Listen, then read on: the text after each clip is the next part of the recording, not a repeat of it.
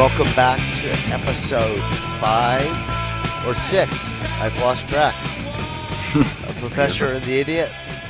It's a good thing we've lost track. That means we're putting in work. Yep, yep, yep. So what's on your mind, Dalton? You know, obviously, if you're a person who has stayed at Nick's house, you realize the collection of books that he has in his house. And you see kind of a theme, and communism, Russian Revolution is a big part of his collection. So I assume he has a vast knowledge on the subject and something that has affected so much of the 20th century is so important to us today. I would like to hear his opinions and knowledge on the subject. That's a pretty broad mandate, Dalton, but I'll do what I can. I think you're up for it. thank you, thank you. I'm fascinated. What is this ideology that resulted in more deaths in the 20th century than any idea ever had? From the millions of people that Stalin starved to death, mostly in the Ukraine in the 1930s, what's called the Holodomor or horror famine. Then later in the 1950s, Mao in China, also in the name of communism, starved to death even more people in his so called Great Leap Forward. In both cases, individual farmers were forced onto collective farms. They didn't work, grain was requisitioned by the federal government, and tens of millions of people perished. I feel like that's something that's not talked about enough. No, no. And one reason it isn't talked about uh, as much as the Holocaust, say, is it just doesn't have that cold, calculated, chilling idea of people being forced into death chambers and poisoned with gas. Yeah, I, um, the little bit of research I did on this was the idea of the superior race maybe wasn't behind it, and yeah. that, that that idea is, I don't know, more uh, affects people in a different way, maybe? Communists weren't believers in the in the um, superior race; they were believers in the superior social class, the proletariat, the workers versus the owners. So class was to the communists as race was to the Nazis. Okay. Does that make sense? Oh yeah, yeah. Where to start? This may almost be t- too broad a question. Well, I guess where does the ideology start? It begins with Karl Marx, would you say?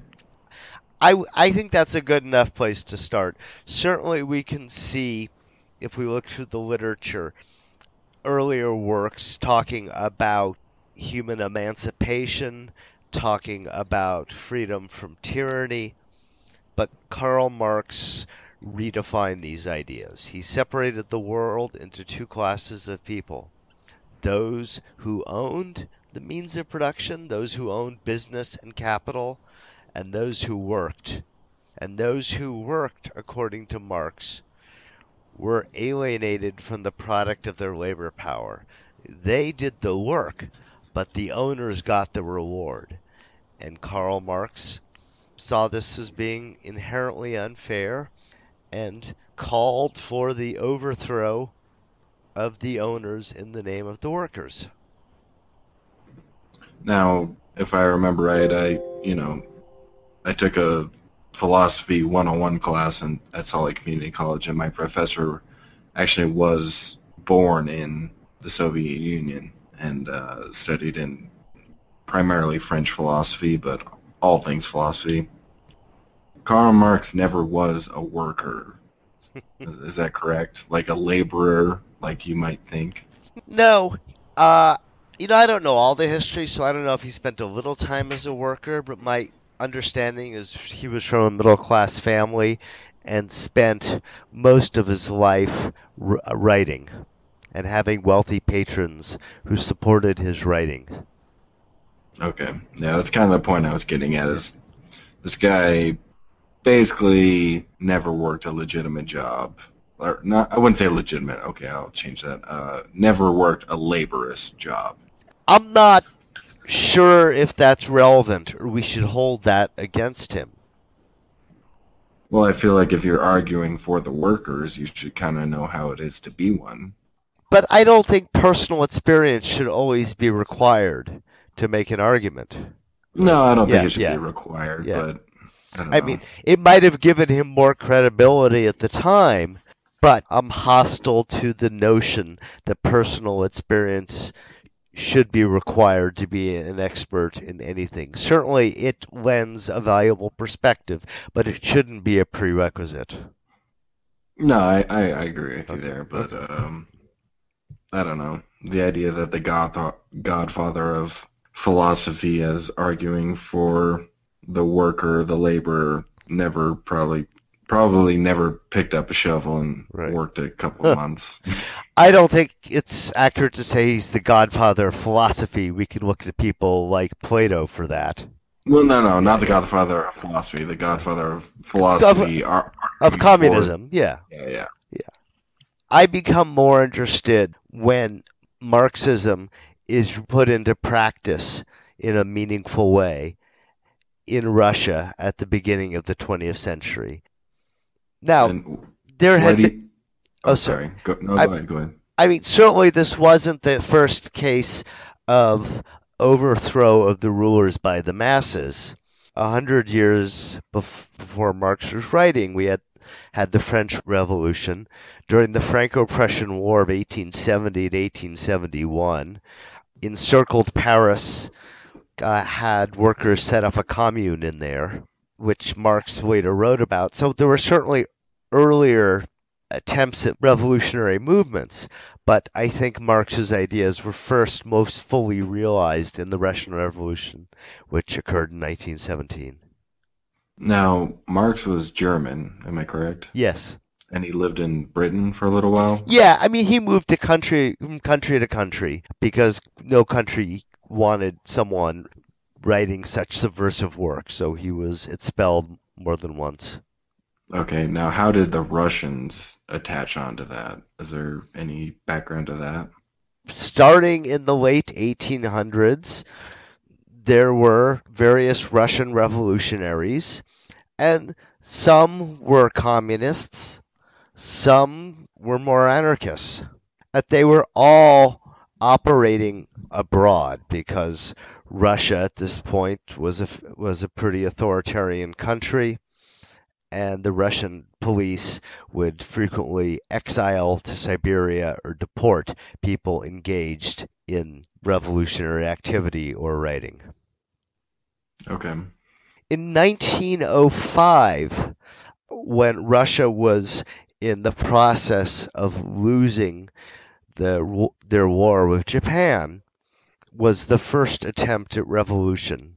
And Leon Trotsky, who was later to be such a prominent part of the Soviet government, figured prominently in this attempt at revolution. And ultimately, it subsided with the Russian government making various promises.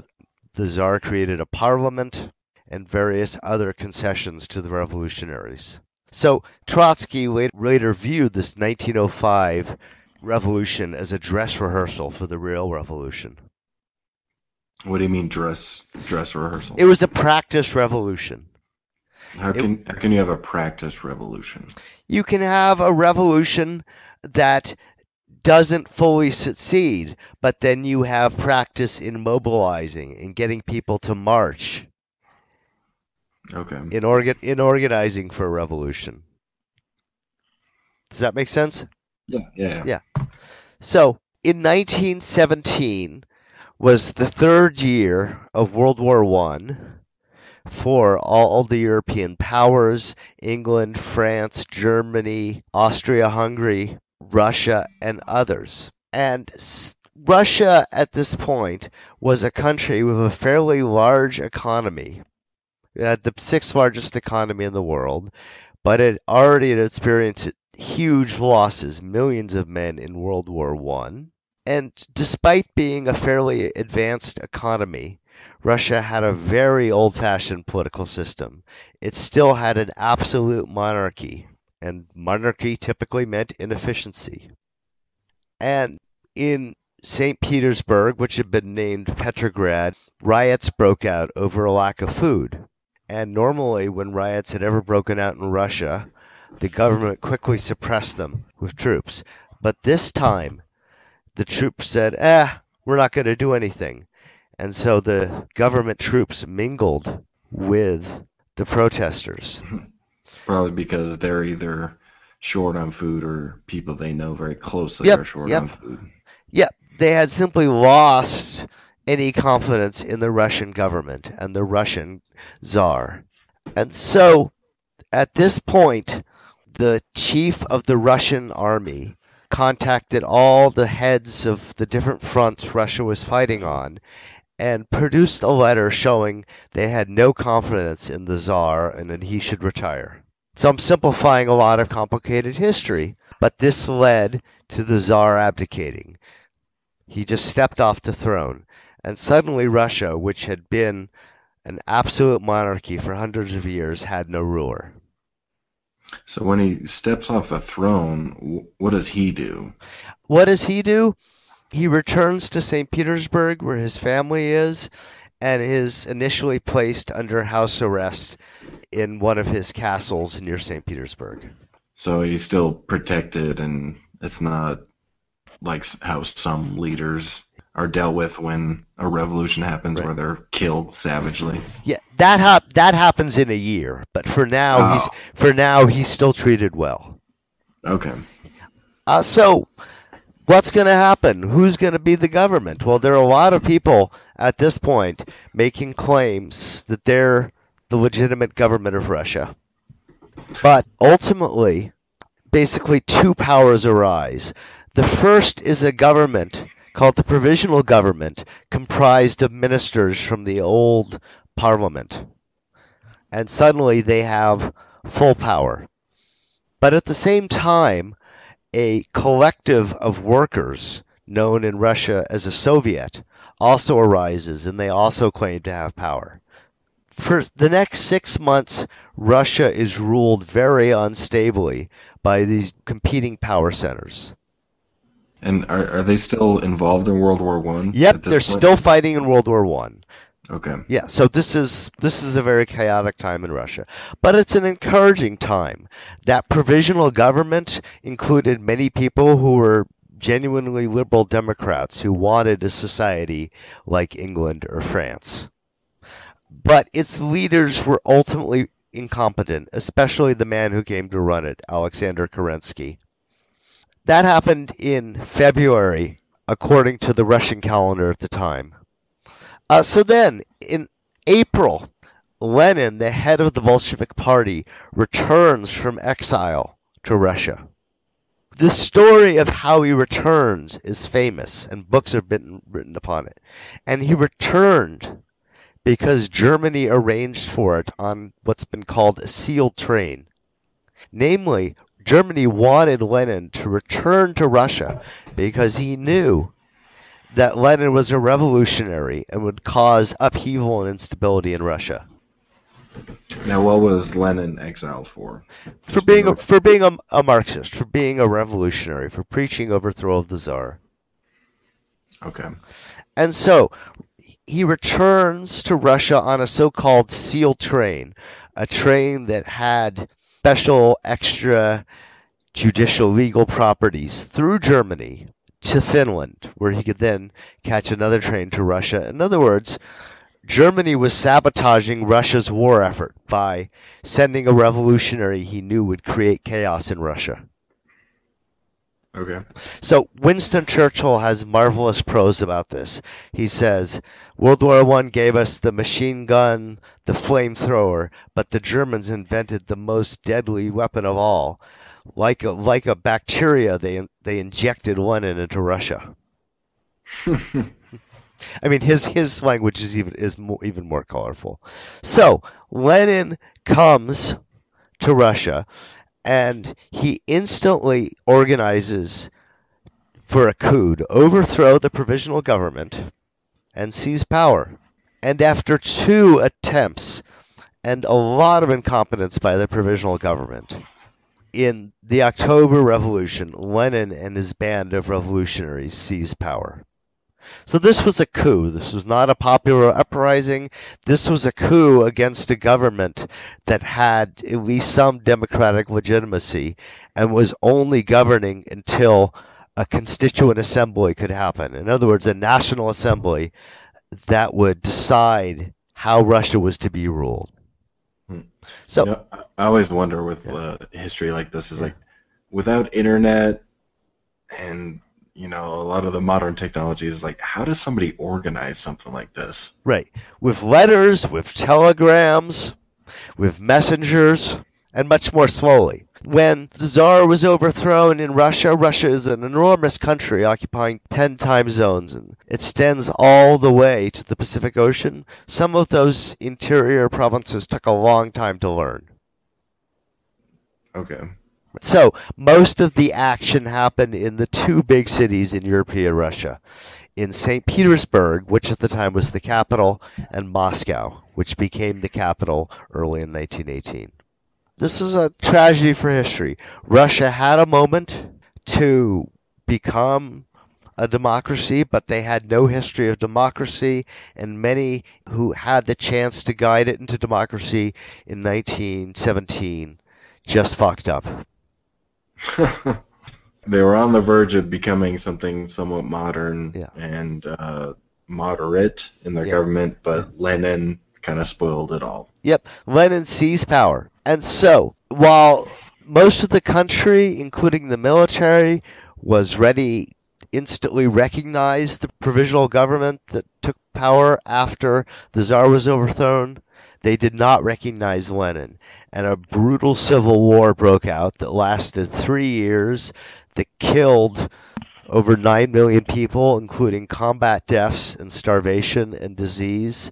The Civil War is fascinating because 11 foreign countries intervened in it against the communists, including the United States, England, and France. But the interventions were all confused and they were not well coordinated, and so they could have acted decisively to overthrow the, the communists. But World War One ended in 1918, and there was not will for too much additional fighting. Well, so so did uh, Russia withdraw from World War One before World War One ended? Yes, exactly. That's what it, Lenin's program was. He instantly sought an armistice because he realized if Russian troops were still fighting the Germans, he wouldn't be able to defend his revolution. Okay. Early in 18, after almost comical negotiations, he signed a treaty with Germany called the Treaty of Brest-Litovsk, named after the city in which the treaty was signed, which gave away huge amounts of Russian territory to the Germans. Did he do that just to get the Germans off his back? Yep, yep, yep, yep. He ultimately got that territory back anyhow a few months later after Germany was defeated in World War One. Yeah, because they were crippled. Yep, yep, yep.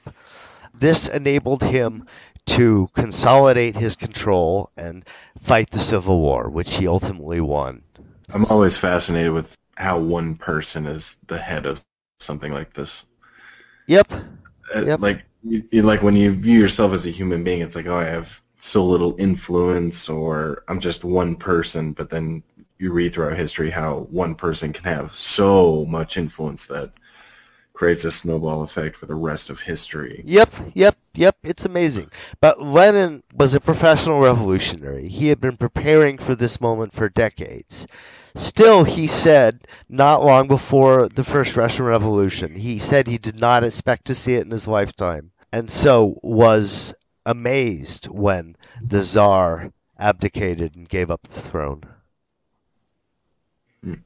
I should note that the Tsar did what he thought was right for his country, but he didn't have to do that.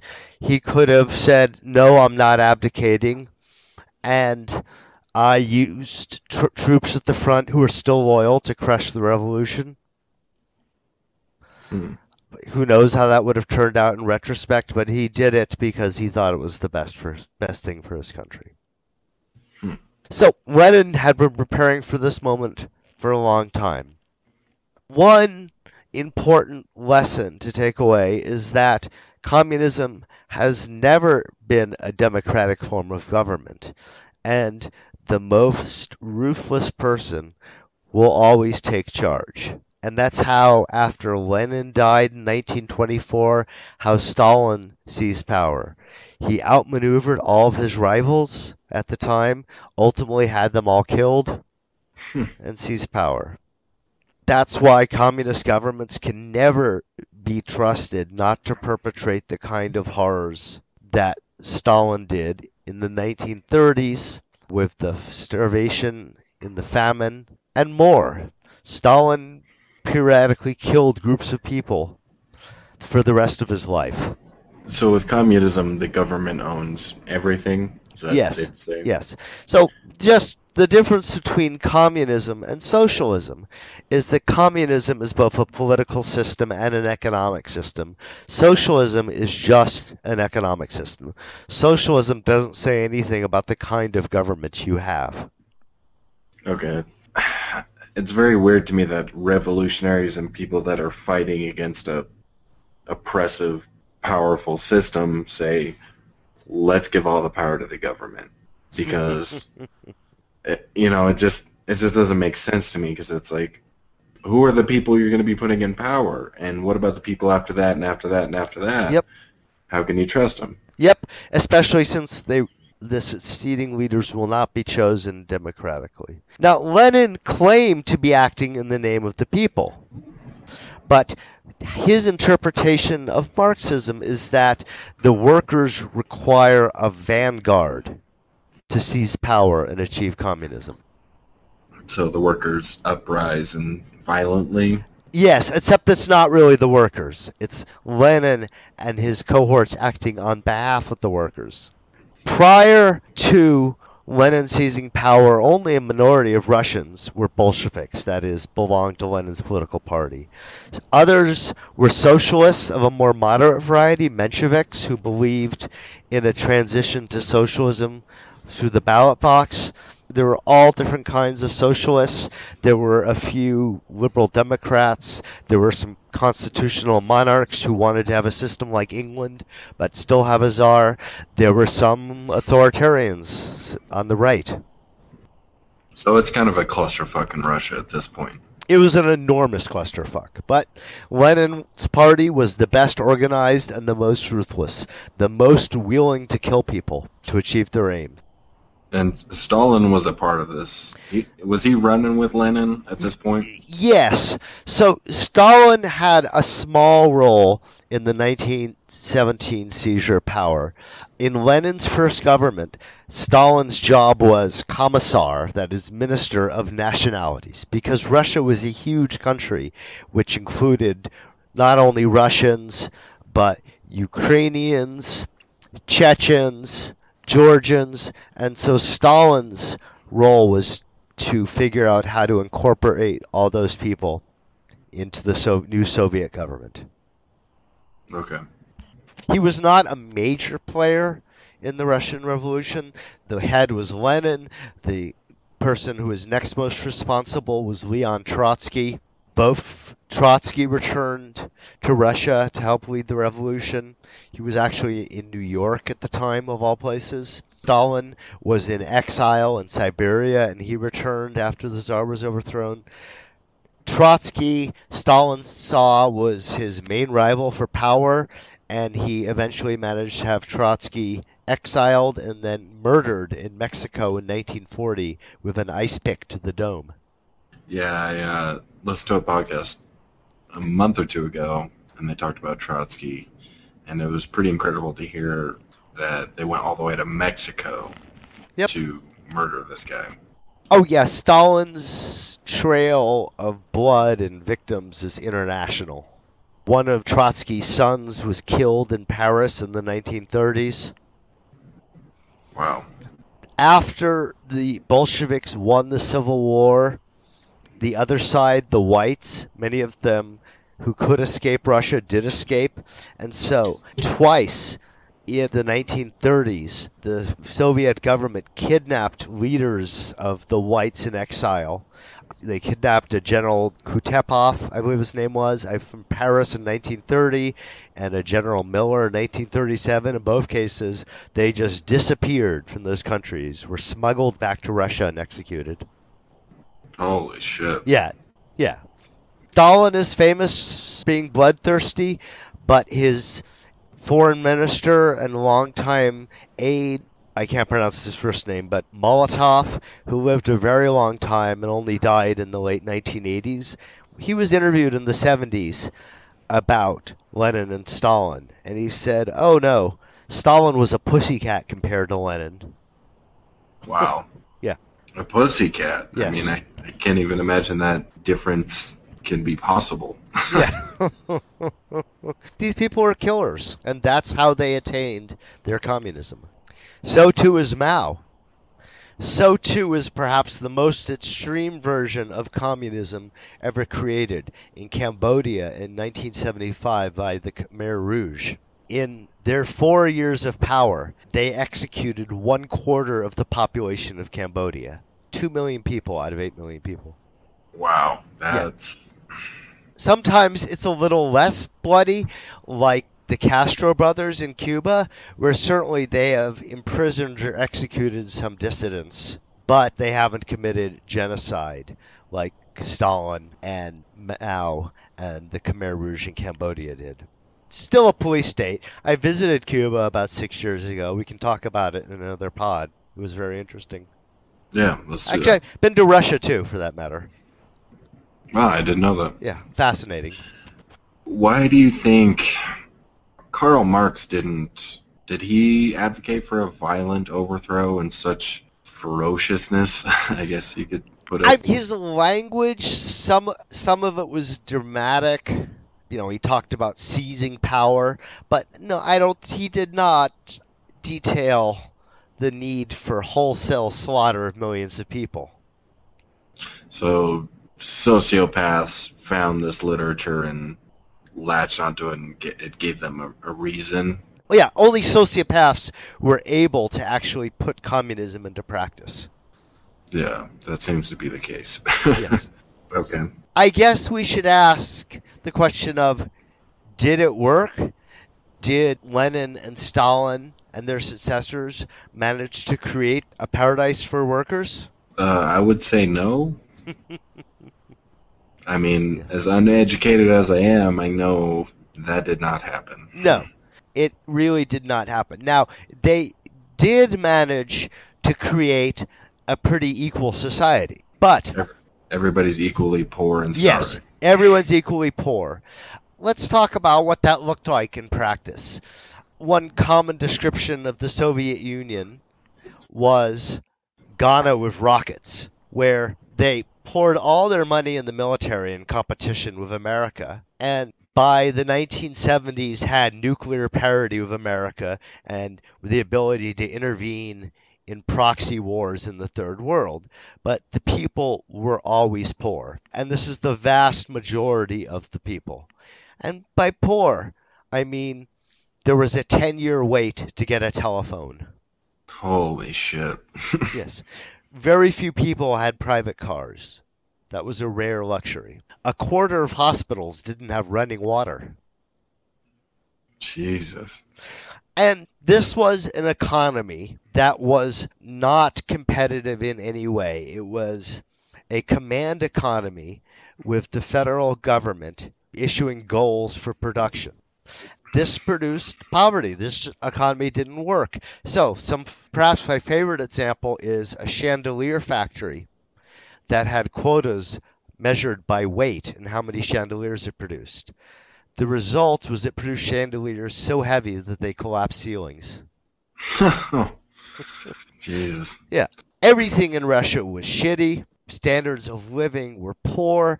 Everyone waited in lines all the time for food, for clothing. Almost everything was poorly made. It was not a paradise. People could always get jobs, they could always have a roof over their heads. Communism meant the price of housing in Moscow did not change between the 1930s and the 1980s, which is Wow. amazing. Which is amazing. That's what a command economy achieved, but it also achieved a shitty standard of living. And so Russian leaders, when the first one to travel to the West was Nikita Khrushchev, who succeeded Stalin in the 1950s, were just blown away when they walked into a, an American grocery store. I bet they were. Yeah. And but no incentive to change. There was some incentive. So Khrushchev, after Stalin, was the first one who tried to moderate communism and make it more humane. He gave his famous secret speech in 1956 in which he admitted that Stalin had been a monster, decried the cult of personality, and so many Russians didn't learn about the secret speech, but everyone in the West did. That was the moment in which people who were still in the West, in America and England and France and Germany, who were still fooled by communism, who still thought it might work, most of them, all of them who had any brains, quit after the secret speech. Like my cousin Alan. There was no no more wonder of if it worked or not, Yeah, or yeah. if it could go horribly bad Yeah. like it did. Yeah. So that's what the secret speech did. Yeah, my cousin Alan, who died about five years ago, was a communist in the 40s and the 50s until he realized what it had created. Khrushchev tried to produce a more humane society very slowly. He lifted restrictions on censorship. The famous novel by Solzhenitsyn, One Day in the Life of Ivan Denisovich, which just chronicled a day in the Gulag and the Soviet prisons, was published during that period. I read it in high school or before. You should all read it. It's a really good short novel. Okay. But, but in 1964, Khrushchev was overthrown in a coup, and then paralysis set in again until 1985 when Gorbachev took power. And Gorbachev realized that the country was sick and the economy was failing. Indeed, in the 1980s, Russia had to import grain from the West to keep its people from starving, which is amazing. A country that had so much fertile land in the Ukraine couldn't feed its own people. Yeah, that's it, it's tough to hear Yeah. because the people who aren't in power are suffering the most. Gorbachev introduced liberalizations to the system known as glasnost and perestroika. He lifted censorship, he provided the rudiments of market competition, and once the society was opened, he couldn't control it. And it, as I'm sure a lot of you know, fell apart within six years. Yeah. Um, my philosophy teacher, he talked about the black market economy. Yes. How, and, and he was an older, he had to be at least 55, maybe 60 years old. Talked about how he had to buy a, Be- a Beatles record illegally. Yep. Um, and I, it was one of the most impactful classes I've ever had to listen to a man who grew up in the Soviet Union, not Russia, the Soviet Union, Yes. Talk about Karl Marx and his bad ideas. And, and he wasn't harsh. He wasn't, he was very calculated and he wasn't emotional about it. Yeah. But listening to a guy who's lived through that was so powerful to hear. Um, I can when- imagine. And when I asked him, I was like, "What do you think of America?" And he just said, "I like America. I like. I, I really do love America." It, I mean, it was one of the most impactful classes I've, I've ever had. I can see that. There is a unique form of gratitude among refugees from communist countries. Yeah. We've covered a lot of history so far. Where do you want to go with this? Why do you think communism? And I, I don't know how you feel about socialism. I know you lean to the left, but you're also, as you've said before in past episodes, you're a, a capitalist. Um, obviously, it seems to me socialism is a step down from communism. What do you think about socialism and how it lead, if it can or does lead to communism? What do you think about that progression? first of all, I would say there has never been a socialist country. There are none today. There's never been one. I don't see a progression. Okay. Certainly, there's been more talk about socialism in the last few years, and a, a really an amazing amount of talk about of socialism. Where did that come from? I think a couple of places. First, for years, some of Obama's foes screamed he was a socialist. Yes. And so that is not new for conservatives in America. For example, in the early 1960s, Ronald Reagan, before he became a politician, was issuing dire warnings that if we instituted Medicare in America, that would take us down the path to socialism. Wow. yeah, exactly, right. And before that, people thought the New Deal, in other words, any modest government interventions in the economy would take us to socialism. And, you know, history shows that Reagan was wrong, and there is no evidence whatsoever that Obama's a socialist. Bernie Sanders seems to be the latest figure when it comes to the topic of socialist. Yes, yeah. Um, I, I know you've kind of downplayed a lot of what the right likes to portray Yeah. him as. As I've heard you say in the past, he's basically just basically Obama's politics plus a little bit extra. Yes, I mean, he is a capitalist. He does not want a command economy, but he wants capitalism of the kind that's practiced in Northern Europe with more regulation on big business in the financial sector and a bigger welfare state. Okay. The most obvious example, something we've heard a lot about recently, is, is the expansion of Medicaid to all Americans, or Medicare. Now this is a very small, tiny, tiny example, but I don't know if that's how a lot of fans of Bernie Sanders view him as a capitalist. I've heard at least this is one example, literally one example, but something tells me it might transfer to a lot more people, but they supported Bernie Sanders and then I've heard that same person also say, I wouldn't mind if America became socialist.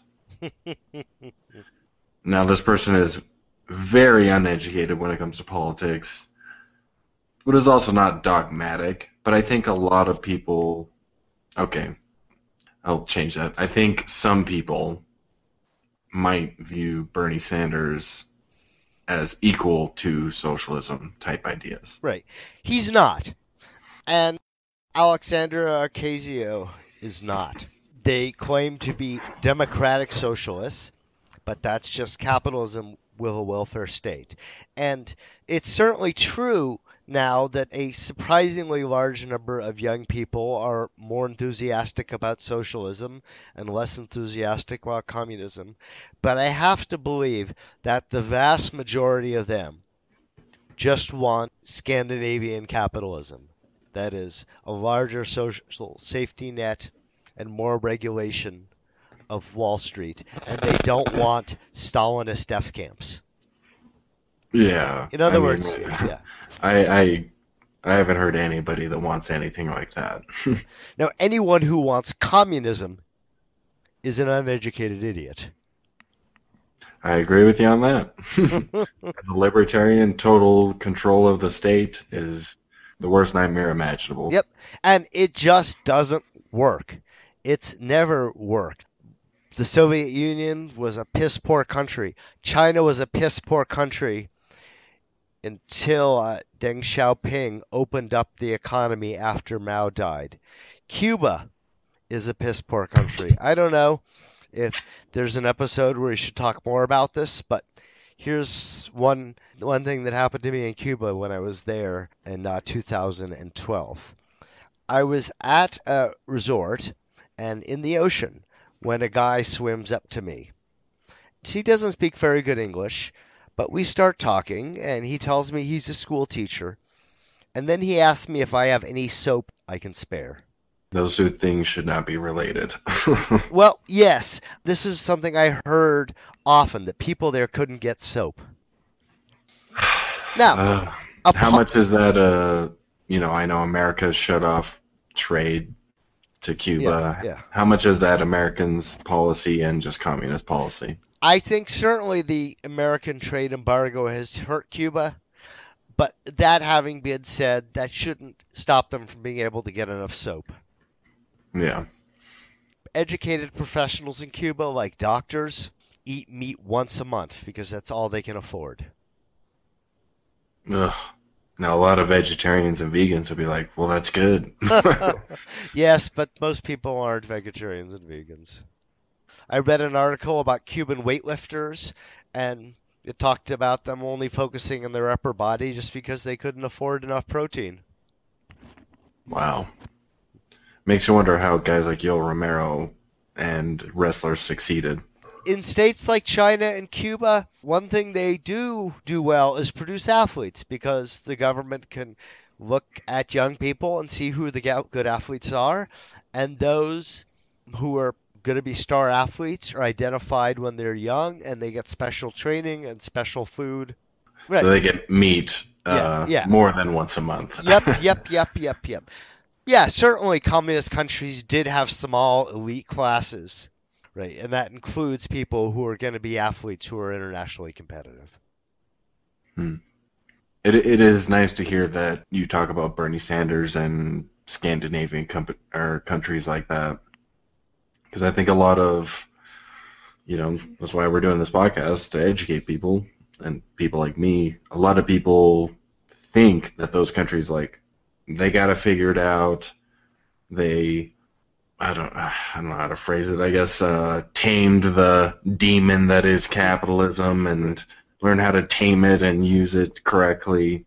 There's questions about whether those countries are comparable to America because they're smaller, Many of them are more homogenous. People are all more similar than America, but certainly those countries enjoy a high standard of living, better life expectancy, and so forth.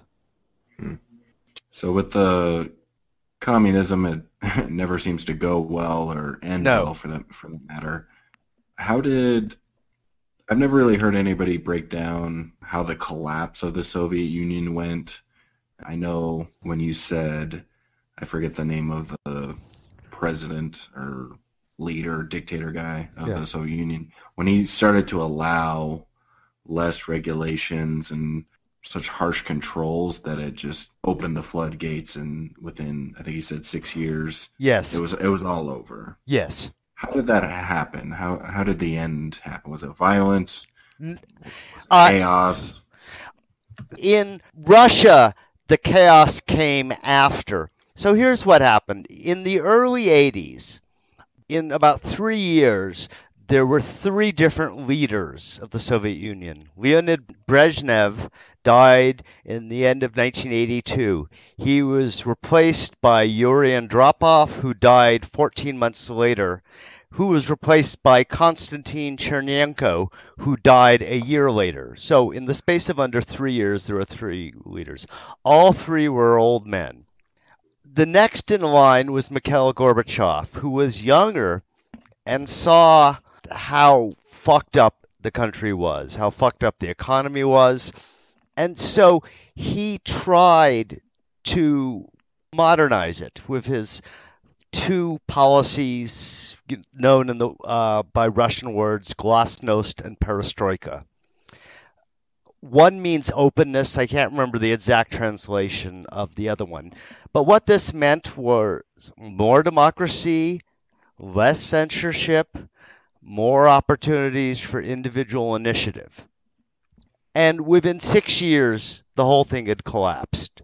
Perhaps what precipitated the collapse, which occurred at the end of 1991, was an attempted coup in August of 1991 by hardliners who saw that the new openness was threatening the stability of the country and tried to overthrow Gorbachev and return to the old ways. But the coup was poorly organized and collapsed, and there was tremendous popular support against the coup that you know hastened its demise.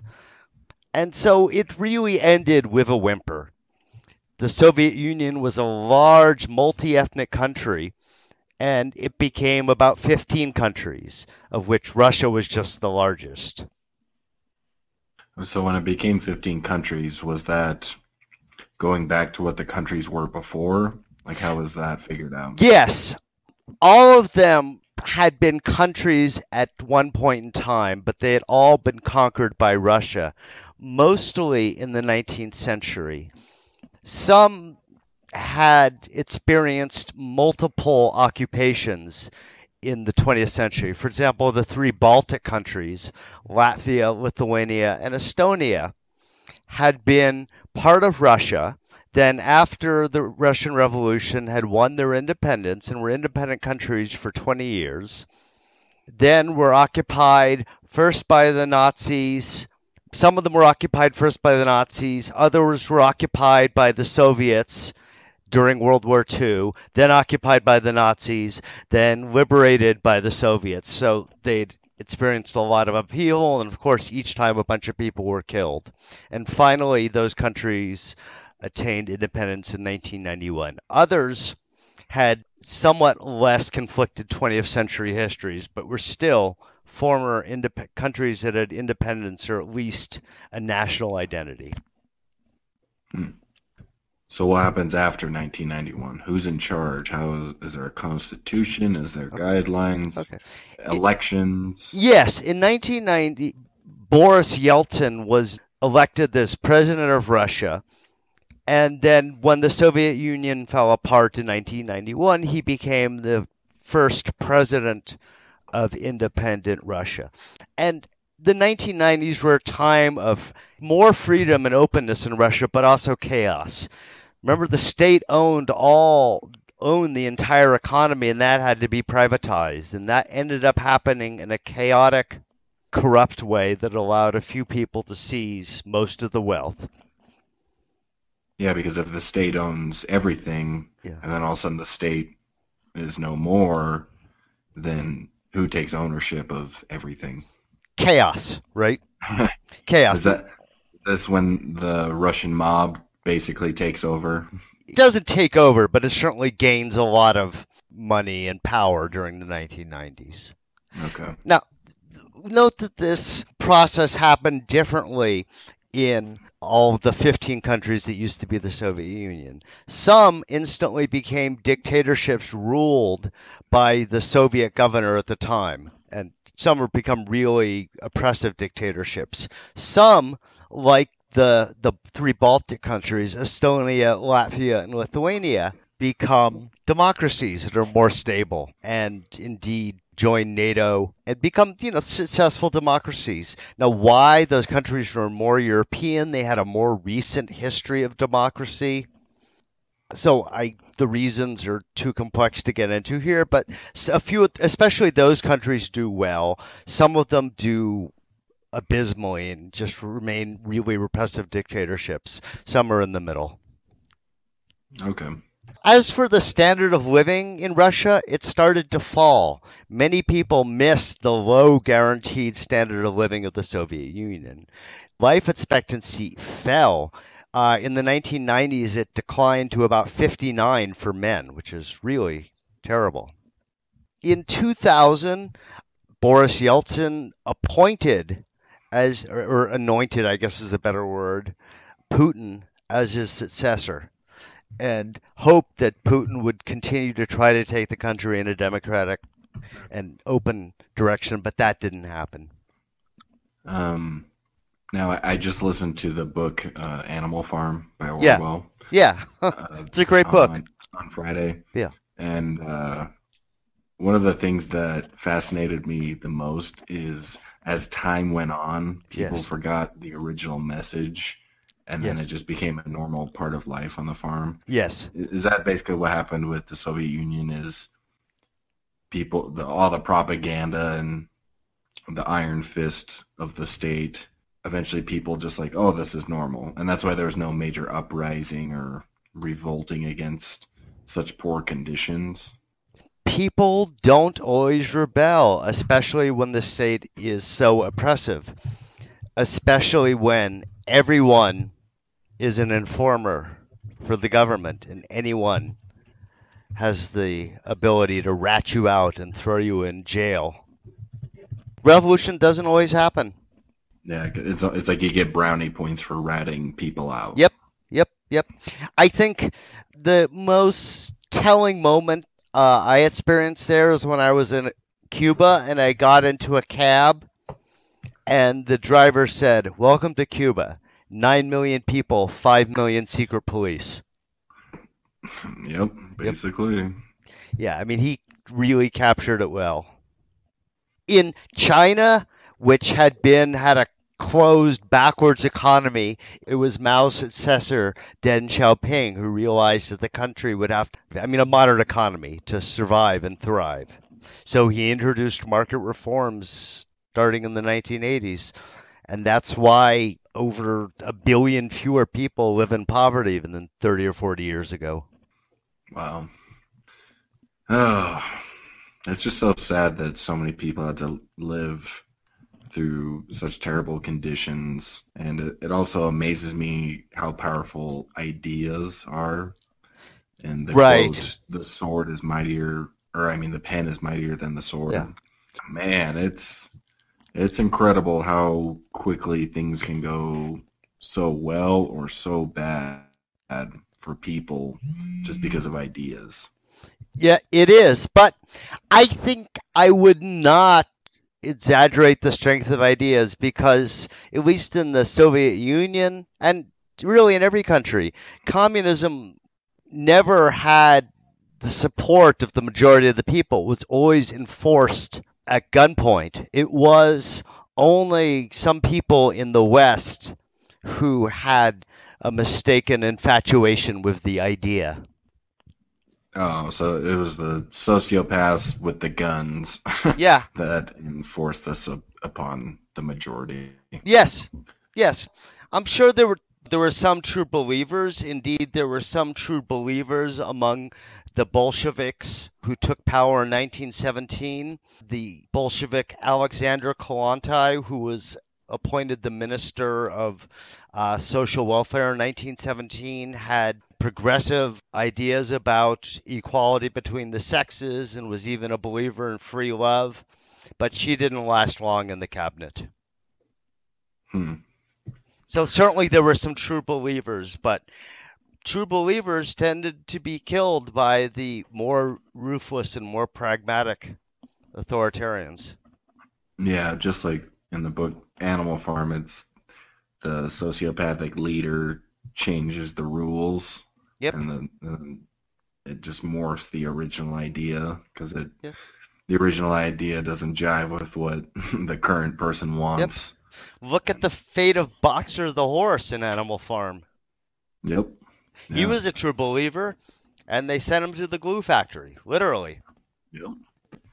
Yeah, and no pensions, and they didn't care, and it's like an assembly line. Oh, this person, or yeah, this person's out. Bring in the next one. In the Soviet Union, if you didn't get thrown into a prison camp or executed, hmm, they like to shoot you in the back of the neck. That was the favorite Soviet means of execution. If you didn't, you would get a pension and a low standard of living, but you would get a pension. But a, a very low standard Yes, of living. yes, yes, a low, yeah, a very low standard of living. I hear the term oligarchy used when referring to Russia now. Yes. How does their government work in comparison to ours?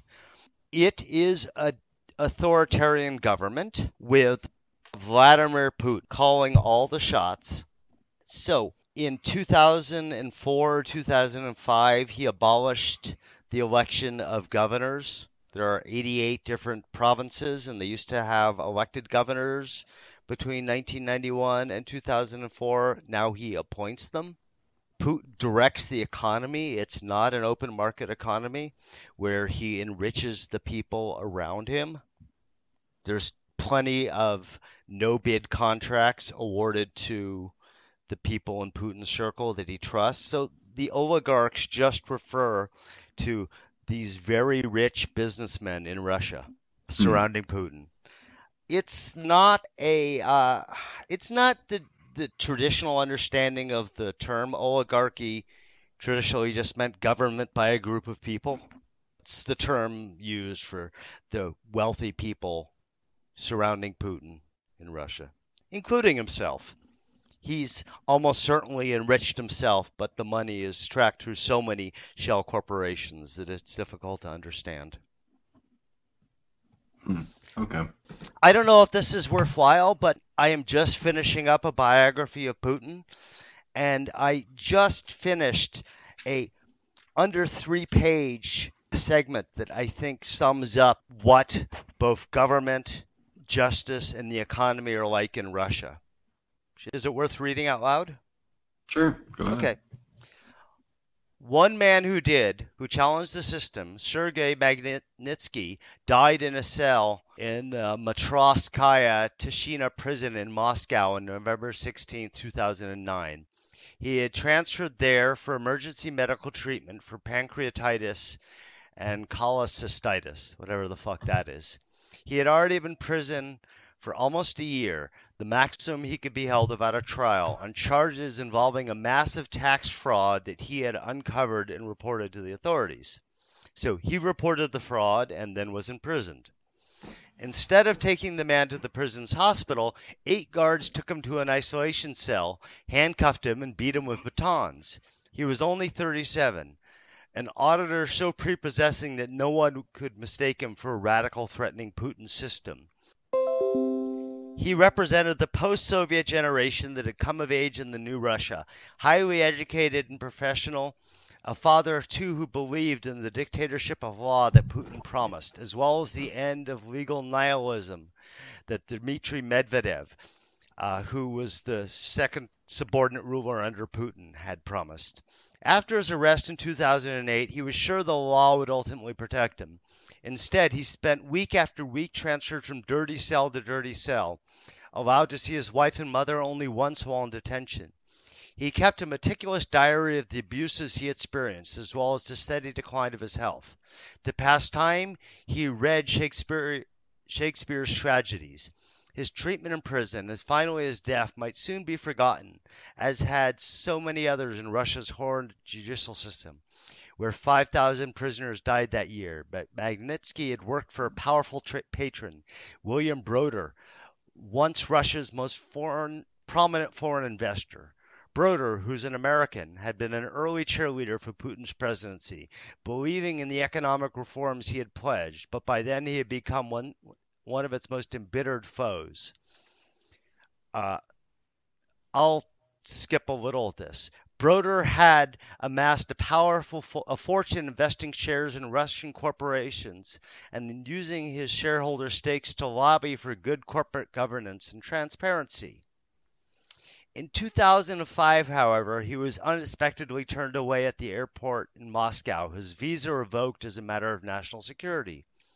Broder's aggressive investment strategy had crossed some line perhaps involving Gazprom, the largest gas natural gas company in Russia, or something I can't pronounce, both with close ties to Putin, but he would never know for sure which one.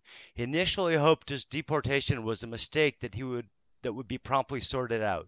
He appealed to the men he believed were his allies in the Kremlin, but by 2007, prosecutors had turned their attention to his company's office in Moscow, and Broder quietly began divesting the assets of his investment fund, Hermitage Capital, and moving them to London. That June, two dozen officers from Russia's Interior Ministry raided Hermitage's office in Moscow and seized the company's corporate records, the certificates and stamps for the holding companies that made up its portfolios. By the end of the year, three of the companies had mysteriously been reg- re-registered under new owners, all of them convicted criminals. These owners then applied for $230 million in tax refunds, which were granted on a single day in December. William Broder turned to a law firm in Moscow, Firestone Duncan, to figure out what had happened. The accountant who untangled this scheme was Sergei Magnitsky, the man who was killed in prison. He testified before the state's investigative committee, identifying the Interior Ministry officers, judges, and tax inspectors who had orchestrated the elaborate theft of the company's seals and the subsequent tax fraud. The ministry ordered an investigation into the theft and assigned as the lead investigator the police major who Magnitsky had, had accused of orchestrating it, Artem Kuznetsov. So, in other words, he said to the police, hey, investigate this uh, guy Kuznetsov, and then Kuznetsov was appointed as the investigator. Magnitsky was then arrested 18 days later. Magnitsky's death deeply shocked Russia's elite. They had long been inured to the harsh measures used against political activists and wayward businessmen, but Magnitsky was neither. Even if Broder po- uh, posed a threat to someone's powerful interests, Magnitsky was clearly a collateral victim.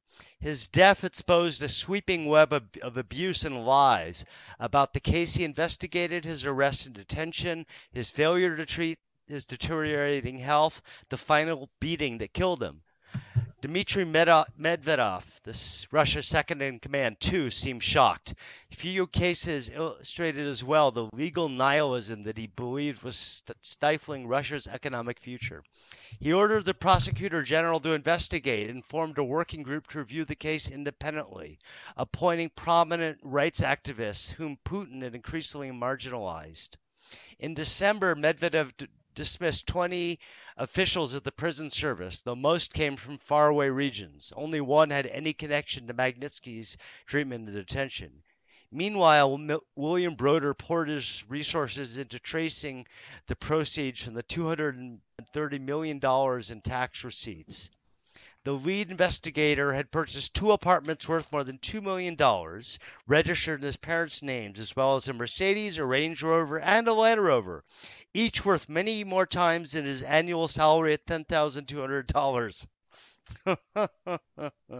the women in the tax office who had approved the rebates had a estate in Moscow, a seaside villa in Dubai, and $11 million in cash in offshore accounts in her husband's names, according to William Browder's investigation. The bureaucrats involved lived so far beyond their official means, it was clear that the embezzlement uh, from William Browder's fund had been replicated in hundreds, perhaps thousands of cases.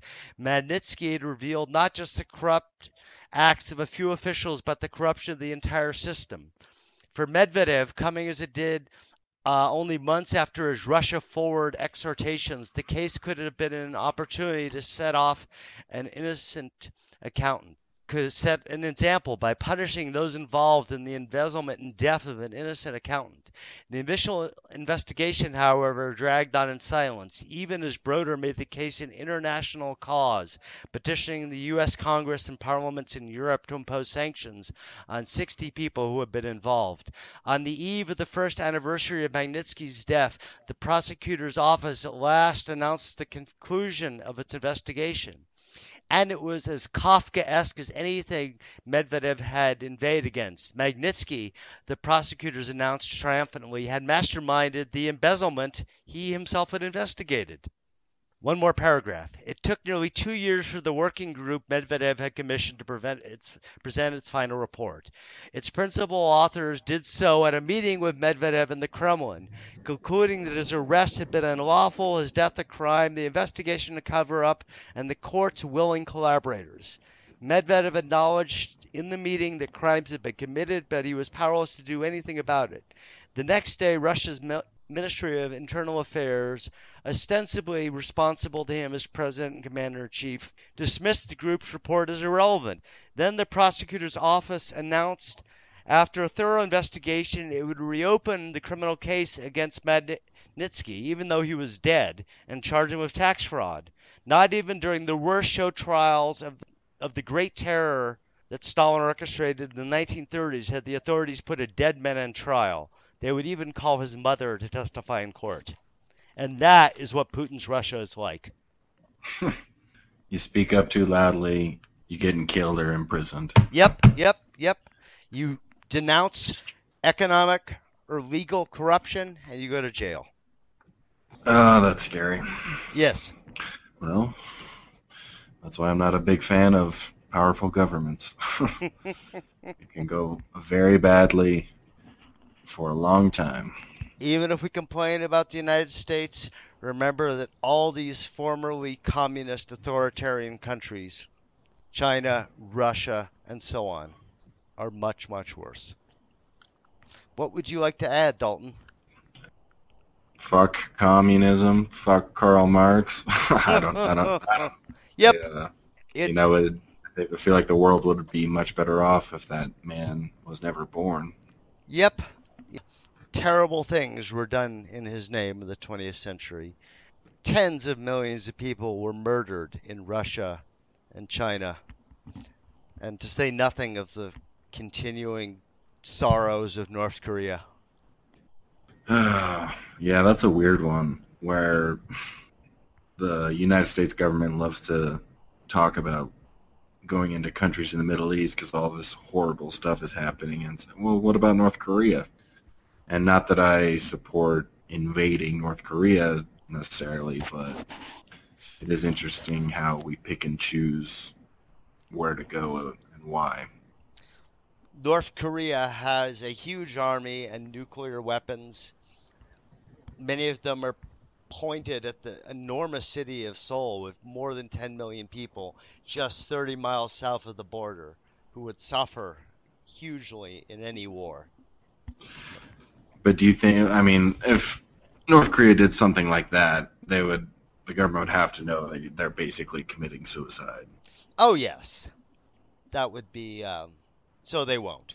So it's unfortunate that they're a rogue state with nuclear weapons, but there is certainly not a viable military solution. Yeah, it's a mess. Yeah. Well, does that about cover what we want to talk about with communism? Yeah. It sucks. It shouldn't be put into practice. we need to learn from history. There's not any good example of a formerly communist country transitioning to a open democratic capitalist country. Yeah, that transition seems to be very difficult. Yes. The Baltic countries are Estonia, Latvia, Lithuania are partial example, but they were always occupied by Soviet Russia. It wasn't it wasn't their idea in the first place. Yeah.